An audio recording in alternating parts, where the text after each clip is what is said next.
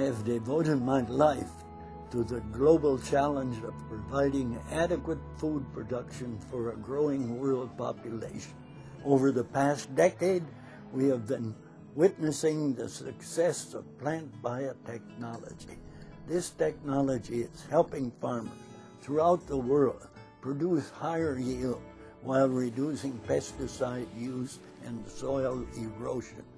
The benefits and safety of biotechnology has been proven over the past decade in countries with more than half of the world's population, helping meet the growing demand for food production while preserving our environment for future generations.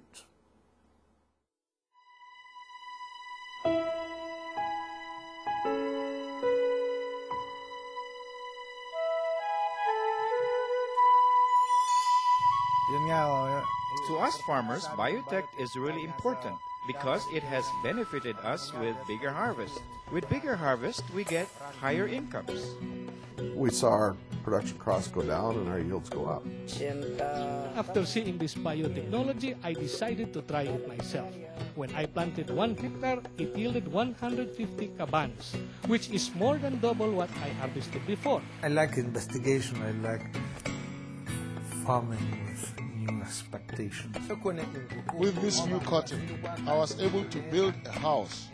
And as you can see, my family is healthy. So with this genetic technology, my life has changed completely.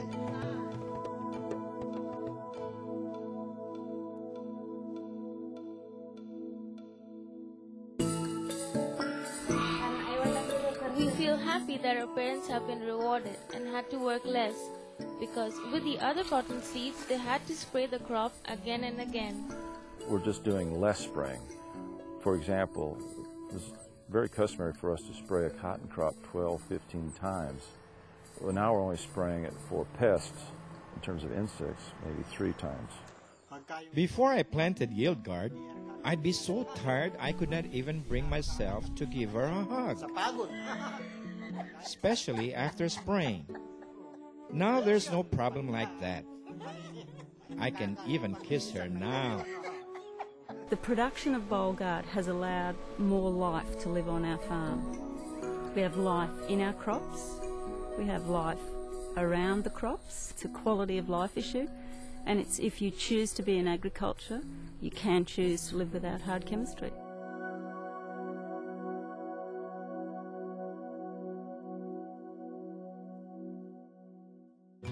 Most of the tillage that we did, we did to kill weeds. That's why we were out there tilling the soil and tilling it over and over again. Today, we virtually don't do any tillage for weed control.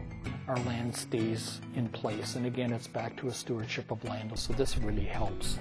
Through minimum till or no till, we no longer have to use more diesel and, and, and jeopardize the soil to more erosion. It just has eliminated the number of trips over the field. It's not just a small benefit to the environment through this new technology, it really is huge.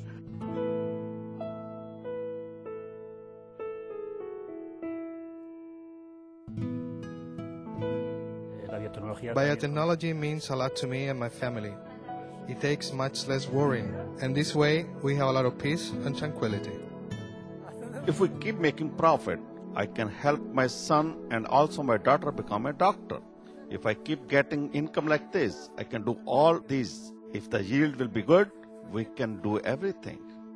It's brought a very important cultural development to the area. It's had an effect on the standard of living for many of the people here. The first thing we need to think of is human beings. We need partnership, working together with those continents or countries that are well ahead with agriculture because every human being needs food in the stomach. Most people in the world, and we have to remember we're a small part of the world, they have to worry about feeding their families and, and their future generation. I just don't think the old conventional way of farming is going to do it. We're going to have to continue to use biotech oh